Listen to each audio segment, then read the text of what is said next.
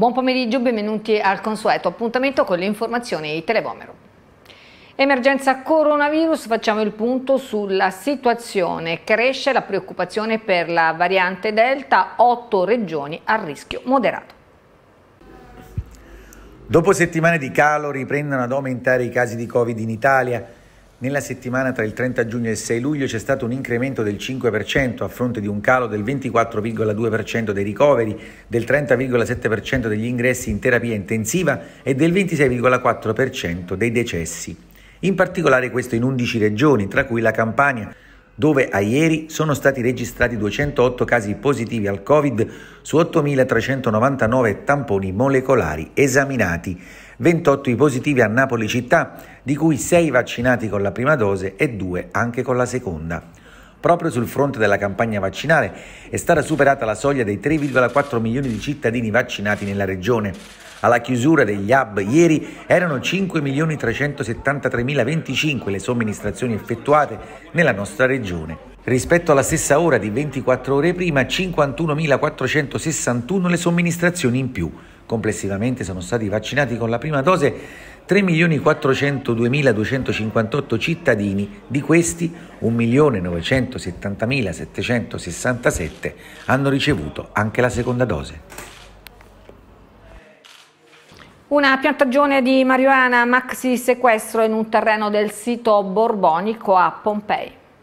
Una piantagione di marijuana è stata scoperta dai carabinieri all'interno dell'ex polverificio borbonico a Pompei. Ad attirare l'attenzione dei militari nel corso del quotidiano servizio di controllo del territorio, l'intenso e inconfondibile odore di marijuana. Mediante servizi di osservazione, anche con l'ausilio di droni, i militari hanno accertato la presenza di una fiorente coltivazione che si estendeva su un'area di oltre 2000 m2, ricadente tra il polverificio e il locale centro commerciale La Cartiera, adeguatamente irrigata mediante sistemi automatizzati di pompaggio che attingevano direttamente dal vicino fiume Sarno l'acqua. Secondo quanto è emerso dalle prime indagini, ignoti si sono illecitamente impossessati dell'estesa porzione di terreno demaniale, impiantandovi una coltivazione illecita protetta alla vista dall'esterno da una fitta vegetazione. Nonostante l'accortezza adottata da parte dei malviventi, i carabinieri sono riusciti a loro volta a penetrare all'interno del terreno e a recuperare circa 18.000 piante di marijuana sottratte al mercato illecito degli stupefacenti per complessive 9 tonnellate di peso, oltre a vario materiale per la coltivazione e il confezionamento della marijuana. Siamo in collegamento con il comandante della Polizia Municipale di Napoli Ciro Esposito. Salve comandante, ben trovato come ogni venerdì. Ben trovati. Allora, prosegue incessantemente l'attività della Polizia Municipale sul territorio, purtroppo da registrare ancora un episodio spiacevole ad anni di agenti che quotidianamente cercano di controllare il territorio per i cittadini. Eh, ci racconti questo episodio? Sì, un episodio molto sgradevole che si è verificato nella scorsa settimana, tra la notte tra sabato e domenica, quando la centrale operativa ha inviato una nostra pattuglia eh, su via Roma perché era presente del, delle macchie di, importanti di, di, di, olio che quindi metteva in, a serio pericolo l'incolumità soprattutto dei guidatori sulle due ruote. Ebbene, eh, c'è stato il nostro intervento per fare una deviazione di traffico ed evitare che qualcuno ci facesse male. Incredibilmente gli stessi utenti sui mezzi a due ruote eh, in un primo luogo c'è stato un parapiglia con un cittadino che, eh, tra le altre cose, noto alle forze dell'ordine, eh, che voleva necessariamente passare per quella strada. Poi improvvisamente si è fermato un altro mezzo a due ruote e, senza nessun motivo il guidatore è e ha colpito a volto uno dei miei agenti provocandogli la rottura del setto nasale. Ovviamente sono stati individuati entrambi e denunciati all'autorità giudiziaria, però voglio dire eh, è il, la spia di un, di un, momento particolarmente critico che, sta, che stiamo vivendo come, come comunità in cui del, dei rappresentanti delle forze dell'ordine eh, lavorano per la collettività, si trovano in un posto per evitare che qualcuno si faccia male e nonostante ciò vengono aggrediti eh, proditoriamente e magari c'è anche qualche altro cittadino che, eh, come devo dire, che sollecita, che, che sostiene questo tipo di, di, azioni che sono veramente eh, assolutamente incivili, quindi la solidarietà sicuramente a me e la gente, agli altri due, uno ha avuto 10 giorni, l'altro 6, ma il danno maggiore l'ha avuto appunto il dipendente che ha avuto la rottura del setto nasale, stavano semplicemente facendo il, il loro, loro lavoro di notte certo. in un fine settimana a tutela dei nostri concittadini, quindi eh, ci vorrebbe, come devo dire, anche eh, un senso di, di, di maggiore, eh, maggiore senso civico un po' da parte di tutti. Certo, gli auguri di tutta la redazione di Televomero alla gente che appunto è stato colpito mentre svolgeva il suo lavoro, un lavoro difficile nel fine settimana, c'è anche un altro problema, quello dell'alcol che gira tra i giovani, è stata recuperata una ragazzina in coma etilico proprio sul lungomare da voi agenti della Polizia Municipale? Sì, sì, anche questo è un altro episodio che si è verificato lo scorso fine settimana in cui appunto una ragazza, una minorenne è stata soccorsa e eh, ovviamente accompagnata in ospedale perché eh, c'era difficoltà a far giungere sul posto eh, l'ambulanza quindi abbiamo provveduto a caricarla sul nostro veicolo e ad è un tema ovviamente con le riaperture che ci sono che bisogna che riprende ovviamente di nuovo campo in tutta la sua drammaticità l'uso ovviamente fuori controllo del, degli alcol, in particolare noi ci preoccupiamo ecco, dei minori, abbiamo individuato anche chi è che gliel'aveva somministrato, abbiamo anche proceduto nei suoi confronti, però ecco, e, eh, anche quello mettere a repentaglio la vita di, di, di una persona eh, in questo modo è veramente, veramente, drammatico, in particolare quando poi si tratta di, di minori. Eh, il caso si è fortunat fortunatamente concluso eh, diciamo in modo positivo, ma eh, dobbiamo stare attenti perché con le tante riaperture se c'è qualcuno che senza scrupoli somministra in modo eh, come devo dire eh, fraudolento alcol a chi, non può, a chi non deve averlo è chiaro che eh, nascono una serie di, eh, di, di, di problemi non, non, indifferenti. Dobbiamo tutelare i nostri giovani, ovviamente il primo compito spetta alle famiglie, ma accanto a loro ci sono sicuramente le forze dell'ordine e nel fine settimana noi insieme alle altre forze di polizia, lei sa che abbiamo un piano di coordinamento delle attività Uh, siamo in strada, ma è opportuno che tutti, a partire dagli esercenti, la maggior parte sono scrupolosi e attenti, la, le famiglie e gli stessi ragazzi fanno in modo di non ecco, avere questo tipo di eh, problema poi da dover affrontare. Assolutamente, voi state anche lavorando insieme chiaramente a tutti gli organi preposti all'organizzazione della sicurezza per il G20 che si svolgerà a Napoli il 22 e il 23. Un ulteriore carico di lavoro in un periodo particolarmente difficile, tra l'altro il periodo estivo, c'è anche il periodo uh, delle ferie con già un organico uh, sicuramente al di sotto del bisogno della città. Sì, tutte queste circostanze che lei elencava ovviamente contribuiscono a rendere ancora più difficile e complicato il nostro compito, però devo dire che ormai si sta lavorando da Sua Eccellenza il Prefetto ha costituito una cabina di regia cui, a cui faccio ovviamente parte anch'io, in cui si sta tentando di eh, programmare tutte le attività in modo da eh, rendere quanto più sicura è possibile la permanenza in città delle tante delegazioni e allo stesso tempo di recare quanto meno eh, disagi è possibile alla cittadinanza. Però è chiaro che in quei giorni, 21, il 22 e 23 eh, luglio, ci saranno eh, ovviamente dei, pro, dei problemi di viabilità, in particolare nel centro della città, i luoghi che sono maggiormente interessati all'iniziativa, però ecco si sta lavorando proprio oggi nel pomeriggio un'ulteriore riunione in questura con tutte le articolazioni del comune per cercare di individuare delle soluzioni che siano quando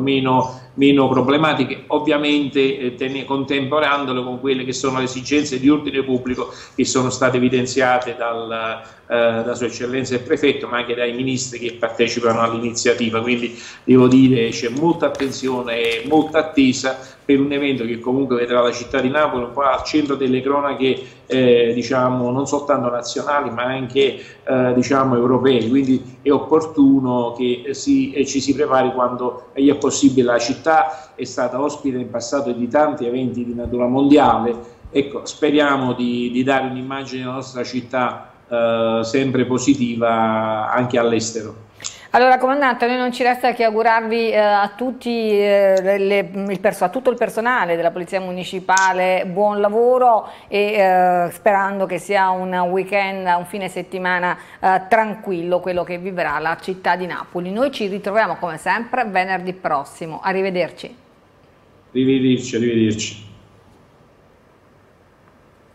Siamo al calcio, la rivoluzione targata Spalletti. A Castelvolturno presentazione ufficiale del nuovo tecnico del Napoli. Dopo un lungo silenzio Luciano Spalletti svela le sue prime mosse del Napoli che verrà. Perché ha scelto proprio la città di Napoli dopo due anni di fermo, orgoglioso dopo aver allenato la Roma, l'Inter e il San Pietroburgo di guidare la squadra dove ha giocato Diego Armando Maradona, il più grande calciatore di tutti i tempi. Allora, il Napoli è una squadra forte e sono curioso di entrarci dentro il prima possibile per vedere fino in fondo quanto ne è consapevole, perché poi essere forte se non sai di esserlo a volte non completa quello che deve essere il tuo comportamento. Per cui questa è una cosa che mi renderò conto strada facendo perché da quando me l'hanno detto che sarei stato l'allenatore del Napoli non gli ho levato gli occhi di dosso mai a questa squadra. Le ambizioni sono quelle di riconquistare un posto in Champions League, vale a dire il calcio che conta, ma la società deve prima far quadrare i conti. E è chiaro che dopo è venuta fuori la dichiarazione che io terrei volentieri tutti i calciatori che ho a disposizione perché sarei contento così, mi basterebbe così. E tutto questo era un tentativo di fare un complimento a tutti quelli che ci hanno lavorato e a tutti quelli che l'hanno creata, questa squadra qui, perché effettivamente è una squadra forte. Poi sappiamo che per contratti scadenza, che per il Covid, che per tante questioni che poi sono subentrate, il prossimo Napoli probabilmente, anche conseguenza di quello che ha detto il Presidente, sarà un, differente da quelli precedenti, però poi noi siamo qui per questo, per tentare di costruirne un altro altrettanto forte. Siamo in collegamento con Sergio D'Angelo, presidente delle eh, imprese sociali GESCO. Salve, grazie per aver accettato l'invito a collegarsi con noi. Ben trovato, presidente. Grazie a voi per l'invito. Allora Presidente, una festa aperta alla città per celebrare 30 anni di attività, una, un compleanno importante dove naturalmente era d'obbligo tracciare dei bilanci e analizzare le prospettive future. Beh, insomma, una festa della città, non semplicemente una festa con la città, perché 30 anni di storia hanno intrecciato uh, relazioni, vite, eh, famiglie di tanti napoletani. Gesco oggi non è semplicemente il primo gruppo del settore privato uh, per numero di occupati e di questo non bisognerebbe mai rallegrarselo perché appunto noi siamo nati in un tempo in cui ancora esisteva l'Olivetti, la Legna, l'Italsider, la Cementir, esistevano grandi fabbriche e insediamenti industriali, adesso non ci sono più, noi siamo rimasti e quindi una storia così lunga eh, diventa necessariamente per forza di cose, anche se non avessimo voluto, la storia in parte anche della città. Un'istituzione percepita come patrimonio non semplicemente di chi ha contribuito a realizzarlo, ma anche della stessa città. Noi ci siamo occupati in questi 30 anni davvero di tutto quello che era immaginabile progettare, inventarsi nel sistema di aiuto alle persone in difficoltà, nel sistema di welfare di prossimità, quindi dai bambini agli anziani, giovani, donne, immigrati, e sofferenti psichiatrici e poi via via abbiamo preso ad occuparci anche di agio e quindi di formazione, di cultura, di mobilità sostenibile, di ristorazione, di tempo libero, di ambiente, di rifiuti. Insomma, noi ci occupiamo della vita delle persone, in qualche misura proviamo a dare un contributo perché questa possa migliorare, insomma. E lo facciamo sia dando occasioni di lavoro, in genere a giovani che dispongono anche di competenze di pregio, ma altrettanto frequentemente anche persone in difficoltà, persone che vivono una condizione di particolare disagio e che a seguito di questo disagio magari hanno dovuto sospendere il proprio percorso formativo e mai avrebbero potuto incontrare eh, questo difficile mercato del lavoro. Quindi ex tossicodipendenti piuttosto che detenuti ed ex detenuti lavorano con noi, insomma, certo, facendo fate... quello che hanno imparato a fare nel proprio percorso di recupero e di riabilitazione. Certo, avete fatto un, un buon lavoro avete fatto un ottimo lavoro proprio sui fragili, a sostegno dei fragili, eh, è stata una festa molto partecipata, eh, veramente insomma eh, forse al di là di ogni aspettativa, quanto è stato difficile il periodo Covid, il lockdown, insomma dove le difficoltà naturalmente per le categorie fragili sono aumentate a dismisura e gli effetti si sentono ancora oggi e purtroppo si sentiranno anche domani. Beh, è stato difficile soprattutto per le famiglie che erano già in difficoltà e ormai si tratta di centinaia di migliaia di napoletani che vivevano già una condizione di difficoltà e di precarietà esistenziale che si è vista aggravata dalla pandemia che sappiamo essere stata un'emergenza sanitaria non priva oggi di conseguenze sociali ed economiche che stiamo incominciando ad apprezzare. Però eh, mi lasci dire che noi abbiamo dato un contributo non da soli, siamo partiti forse tra i primi ad offrire i primi aiuti alle famiglie e alle persone in difficoltà, ma poi ci sono moltiplicate straordinariamente eh, iniziative di solidarietà e reti civiche che ci sono messe a disposizione e senza il cui contributo difficilmente lo Stato ce l'avrebbe fatto. Insomma è stata una lezione di vita, credo, per tutta la comunità e anche, e anche, per la politica che dovrebbe trarre qualche insegnamento dallo straordinario valore e dal contributo preziosissimo che viene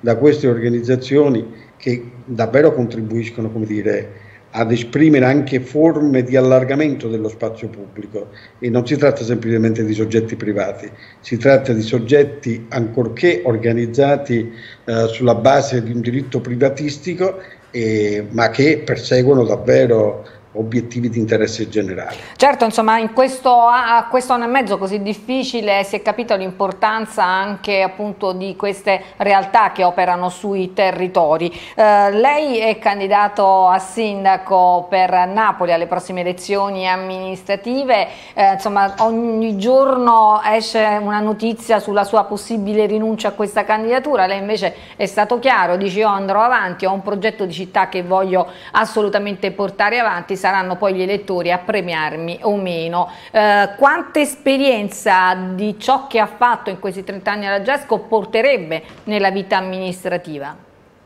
Tanta, diciamo, davvero una straordinaria esperienza, ma io lo voglio dire con parole semplici. Io credo che la politica eh, riguardi il tentativo di ricercare soluzioni collettivamente ai problemi individuali delle persone, esattamente quello che accade nel sociale. Noi questo è quello che abbiamo fatto, se la politica traesse insegnamento da queste importanti pratiche sociali forse renderebbe un servizio alle comunità che amministra, alle città e ai territori che amministra. Ma voglio dire anche un'altra cosa, noi non ci siamo occupati solo degli ultimi e delle persone più fragili, perché ogni volta che ci si occupa delle persone fragili e degli ultimi ci si occupa davvero dell'intera comunità, perché senza un investimento sugli ultimi, e ancorché si tratti di una minoranza, ma è una minoranza sempre crescente, sempre più consistente, e noi da davvero ci occupiamo dell'interesse generale, perché se qualche centinaio di milioni, di migliaia di persone vivono una condizione di disagio, di infelicità, di malessere e quindi di rabbia, che è la cosa più contagiosa, più contagiosa ancora del Covid. Insomma, quello che può accadere è che quella condizione di precarietà esistenziale minacci anche la condizione di maggiore benessere, di agiatezza di tante altre persone. E perché insomma non si vive più bene, viene a mancare il principio della coesione e tanta gente arrabbiata insomma rende impossibile, impraticabile qualsiasi progetto di sviluppo. Per questo io sostengo, non per la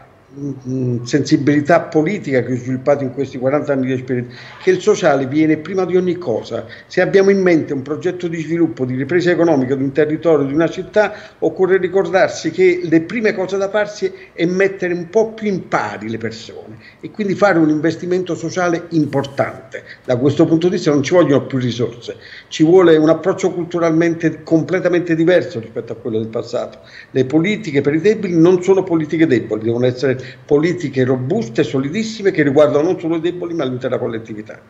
Quindi insomma possiamo ribadire anche ai nostri telespettatori che Sergio D'Angelo andrà avanti indipendentemente dal candidato Manfredi, dalla candidata Clemente, dal candidato Antonio Bassolino e naturalmente Catello Maresca che in qualche modo diciamo, ha fatto quadrato con il centrodestra. Andiamo avanti e non escludiamo se qualcuno, ma no, al capolineo non vediamo eh, all'orizzonte non vediamo far capolino nessuna di queste ipotesi. Se tuttavia vi fosse un progetto più convincente, più inclusivo, più robusto che noi possiamo decidere di sostenere, vale a dire se qualcuno intendesse prendersi la responsabilità di ciò che stiamo portando avanti, i progetti, il modo con cui li portiamo avanti, politiche fatte con le persone, non semplicemente per le persone, insomma, noi saremmo disponibili a considerare la collaborazione con chi che sia da questo punto di vista. Quindi praticamente insomma, voi aspettate prima i programmi al di là dei candidati per poi eh, prendere una decisione definitiva, mi pare di capire? Ma noi conosciamo i nostri programmi, credo che se io ritualmente dovessi farle una domanda e chiederle conto dei programmi dei miei avversari, lei non saprebbe come sintetizzare le proposte dei miei avversari, perché in realtà si parla molto, ma si fa molto ricorso alla consueta retorica tipica delle campagne elettorali, si fa l'elenco dei problemi, ma non si stabilisce la sequenza delle priorità, come si intendono intercettare le risorse e le opportunità e come si intendono anche trattare queste priorità. Non l'ho sentito ancora dire. Noi la ringraziamo per essere stato in collegamento con noi, in bocca al lupo per la campagna elettorale, naturalmente auguri e complimenti a Gesco Imprese Sociali. Arrivederci. Grazie, grazie, buongiorno.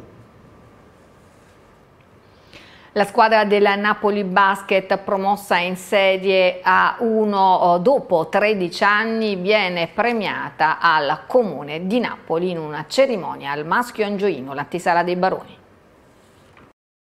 Dopo 13 anni il Napoli Basket ha conquistato la Serie A dopo una cavalcata trionfale che ha visto anche la vittoria della Coppa Italia di categoria, un'annata complicata per tutte le società a causa delle restrizioni imposte dal Covid e che ha visto tornare il pubblico al Pala Barbuto soltanto in occasione dei playoff della promozione. I rappresentanti della società sono stati premiati nella Sala dei Baroni del Maschio Angioino di Napoli, alla presenza dell'assessore allo sport Ciro Borriello e del sindaco Luigi De Magistris. Siamo stati sempre vicini al basket Napoli perché ne abbiamo seguito le difficoltà, eh, la voglia di riscatto, la professionalità, la serietà della società, la meticolosità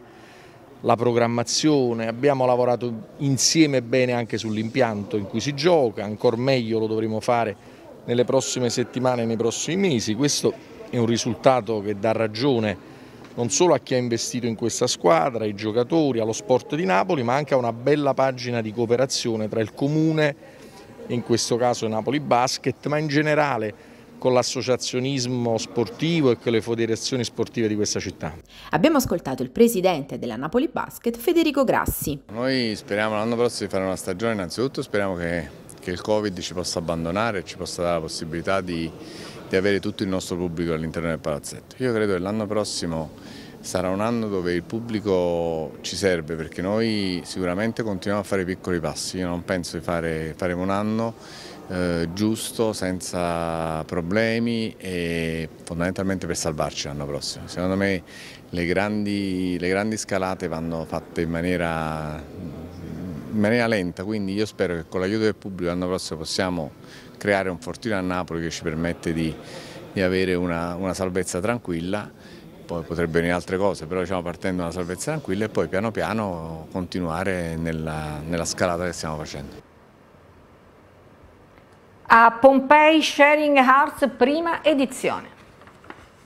Fino al 19 settembre 2021 la residenza artistica Sharing Art nel cuore del Parco archeologico di Pompei apre le porte alla prima edizione di Sharing Art Pompei Events 2021. Il progetto punta a rafforzare l'idea di essere l'unica residenza artistica immersa in un contesto archeologico della regione Campania, con lo scopo di affermarsi come polo artistico e attrazione turistica. Sharing Art è un luogo dove è possibile fare ricerca e sperimentazione attraverso masterclass e seminari di alta formazione e specializzazione nelle discipline del canto, della recitazione, della danza, della musica. Quest'anno però il calendario estivo si arricchisce con i Pompei Events, una serie di eventi culturali, tra cui riassegne teatrali, eventi di danza, un premio letterario, installazioni artistiche, presentazioni di libri, concerti, un festival di corti cinematografici e un talent per comici. A parlarci del programma la direttrice gestionale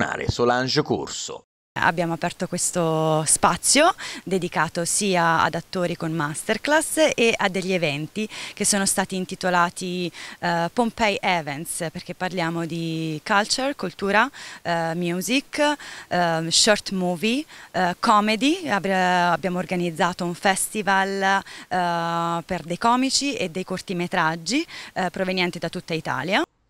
La filosofia di Sharing Art Pompei si differenzia dalla precedente edizione che nasceva in un momento di pandemia per dare la possibilità ad un gruppo di artisti di provare a sperimentare nuovi linguaggi teatrali per una nuova ripartenza. Questo è il pensiero del direttore artistico Luca Varone. Noi daremo la possibilità ad attori professionisti di allenarsi. Ebbene, se l'anno scorso è stato il momento della solidarietà per la Climax Theatre Company che ha fondato lo Sharing Art, quest'anno a nostro avviso è il momento dell'allenamento perché questo anno e mezzo di stop ehm, non ha dato la possibilità a tantissimi artisti di poter usare il loro strumento principale, ovvero il, il corpo.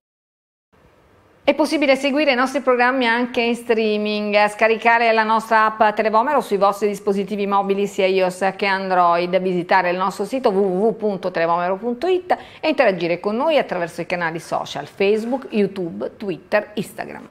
È davvero tutto, grazie per essere stati con noi, un piacevole pomeriggio, ci ritroviamo come di consueto nelle prossime edizioni di Televomero Notizie, arrivederci.